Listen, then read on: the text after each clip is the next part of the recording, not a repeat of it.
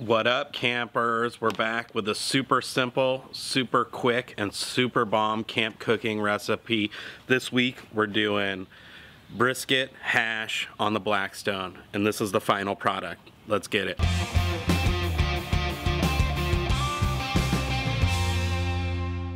This one's super easy ingredients wise. All you need is bag of hash browns, some shredded cheese, onion that you're gonna dice up. We're clearing out the fridge, so we're gonna throw in some mushroom and about six eggs to scramble. And a leftover brisket or whatever smoked meat you got laying around. You can check out our video up above if you wanna see how we smoke the brisket, but this is a great way to use your leftovers. So what we're gonna do is cube up all the ingredients, get the hash browns and eggs all ready to go, and then we'll just throw it all on the griddle.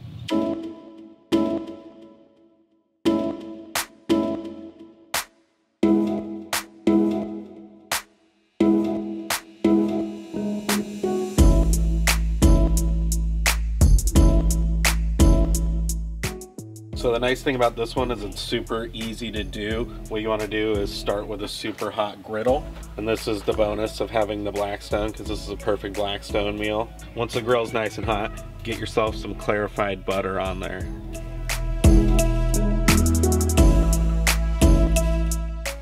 Then we're gonna get our hash browns down with the onions and the mushrooms and whatever else you decide to throw in.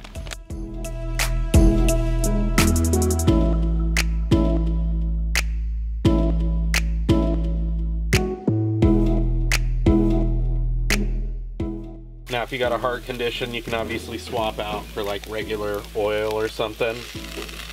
Again, this figure didn't come out of nowhere.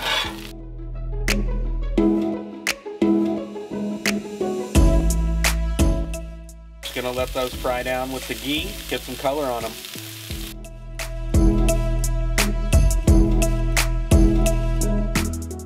Okay, so you can see the, the mushrooms and the hash browns and onions are starting to get some color. They're not all the way there yet, but uh, looking pretty good. So now we're gonna go ahead and add on the meat, let that all cook through together, and then eggs and cheese, and that's a wrap.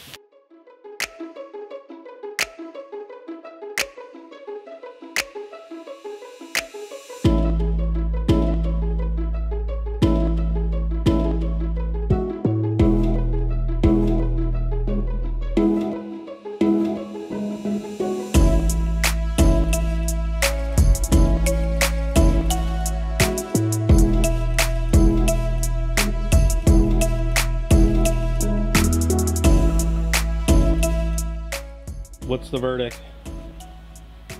Best thing, except for Mountain Man. Oh my gosh. This is the second best thing. Mountain Man breakfast is the first best thing. So watch that video and then try this one out next and let us know what you think in the comments. Mountain Man or brisket hash. Did I disappoint? Not at all. It's delicious and it's a great way to clean the fridge out. It's kind of a chuck it all in kind of a meal. It's delicious though. So yeah, as you can see, this video is filmed in almost real time. It's very quick to make, super bomb, and uh, highly recommend if you're looking to try something different. So that's a wrap for the smoked beef brisket hash on the Blackstone. If you like it, give it a thumbs up, consider subscribing, click the notification bell. We'll see you on the next adventure.